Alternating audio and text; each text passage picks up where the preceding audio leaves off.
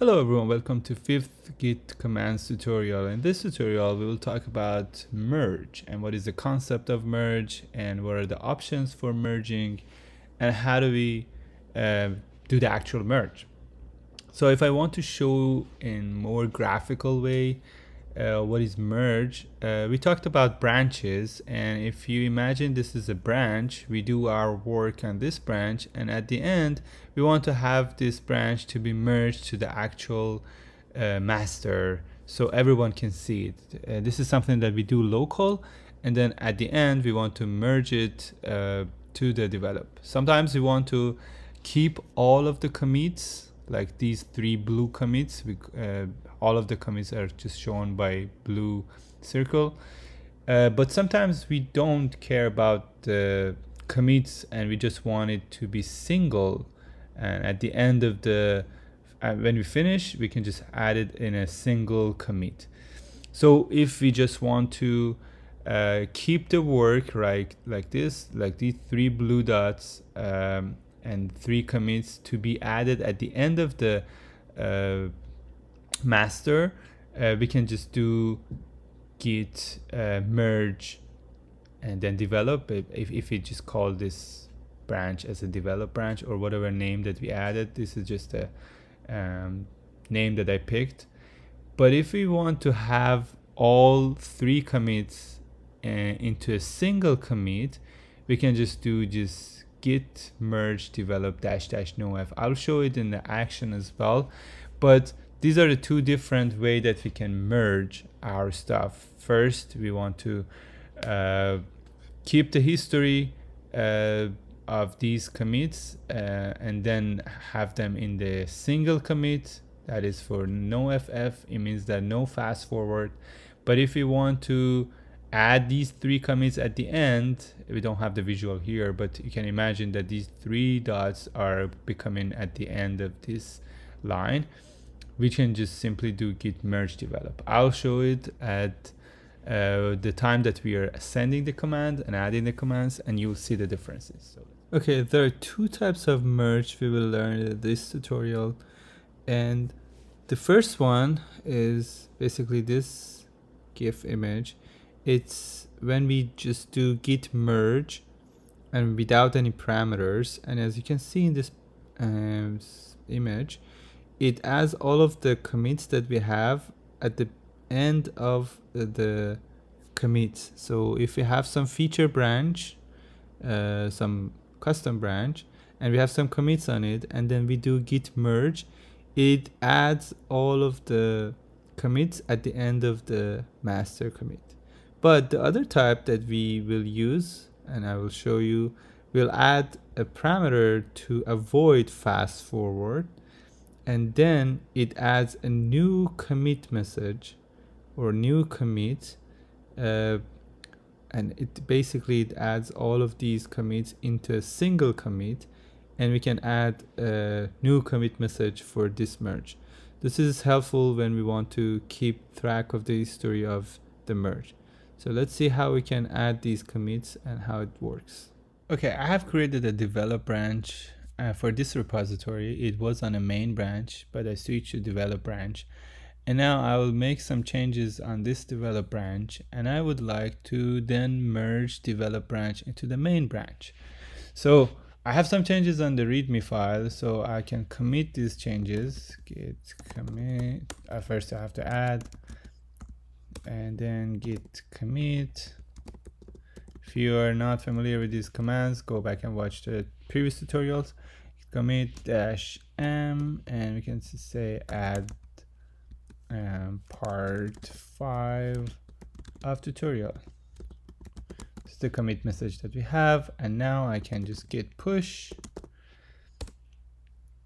and it adds it to the uh, develop branch. Now I am aware of all of the changes that I made for uh, develop branch. I, I want to add one more change. This is there was only one commit. I want to make another commit. Uh, I see that maybe I need to add some uh, maybe spacing here. Uh, yeah, one one more space here. It was a very simple change just to show you that uh, there are two commits on this branch so I'll just add this new line I basically added a new line to my readme file. Uh, I would just say git commit message this time. The commit message will be clean up or add new line. Basically I added a new line. And now I do git push again. So now I pushed it. Let me clear the screen. Uh, I pushed it. Now I want to merge this develop branch into the main branch that I had so first I have to switch to that branch git checkout main so I switch to the main branch so now I want to merge this develop into the main. So the command for this merge is very simple. It says git merge develop. And it merged it for me. So now I can push these changes to the main branch. So if I go back before pushing, if I go to the main branch, and looking at the readme file I don't have this tutorial part 5 so this is the part that I added because I have not pushed it yet so but as soon as I git push and I go back and check I'll see the part 5 is also added. So now I can go and check the history of this file and see the commits. So let's go see the commits. These are the two commits that I just made. It says add part 5 of tutorial add new line these are the two commits so that's how you can merge one branch to another Okay, now again I'm on develop branch and I made some changes. I added basically this line and so Git shows some changes. This time I want to merge with a parameter and I will explain what is this parameter later. So for example, I would say git add and I add this new changes that I have. The git commit? M. Add. A command. For for readme file. Readme file. So this is one commit and I would like to make another change uh, this one I would make just git merge for this line this is another change. I just I'm just trying to add one more change uh, to show you. Uh, there are two commits for this branch again. So git merge and this time I would say dash dash no f. I'll talk about this parameter as well. But yeah, these are two changes and I will add again to the git, git add the new line git commit dash m this one uh, add command with